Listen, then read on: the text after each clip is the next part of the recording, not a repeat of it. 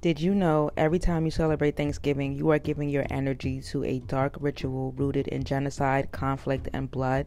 People that are knowledgeable about indigenous spiritual practices are well aware that offerings are often given to ancestors and other deities as a form of gratitude or to ask for their assistance. When these offerings are given, the ceremony is called a ritual. When you purchase a turkey and other groceries to prepare for this tradition, you are participating in a ritual. When your family gathers at the table to take part in these traditions, you are participating in a ritual. Although you may have a clear vision of all the things you are thankful for, and you may even have your own reason for celebrating, what really matters is the original intention that was set for this holiday. Who are you really giving thanks to, and what are you really giving thanks for? In order to answer these questions, we need to go back to the 1600s when the pilgrims of Plymouth, United Kingdom, landed on the shores of Cape Cod, which is modern day Provincetown, Massachusetts. It is said that they set sail seeking economic and religious freedom in the New World. The first time that they arrived, they left with hundreds of enslaved natives and they left behind smallpox. The native inhabitants of that area consisted of various tribes, including the Wampanoag Wampanoag people and the Pequot people.